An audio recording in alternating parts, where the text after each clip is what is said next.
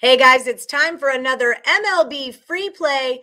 I'm Ali Burns from Picks and Parlays. Tonight we are talking about the Minnesota Twins game one against the Houston Astros this Thursday, August the 5th. Use the promo code USA and save yourself 20% off of the entire site. And I've got Sean Higgs with me today to give us the play. What's happening, my man? How are you there? I'm rocking and rolling, doing my thing, you know. So I'm excited about this one. Astros are getting off a, uh, a heated series with the Dodgers. Now they go back home to face the Twins. What are you liking in this game, Sean? You know, right off the bat, obviously, I can't back the Astros at this 260, 270 mark. I like Framber, obviously, edge over Griffin Jax. Sure, easy enough.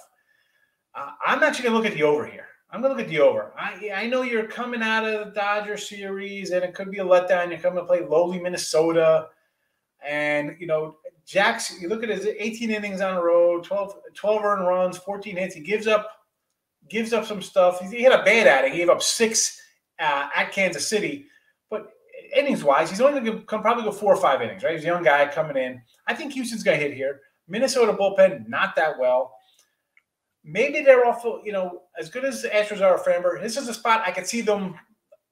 We've seen them lose to, at Detroit. We've seen them lose to Baltimore. I can see Minnesota scratching out some runs here. Minnesota's on a nice little overrun their last 10, 7 to 10 for them. So I'm going to go over.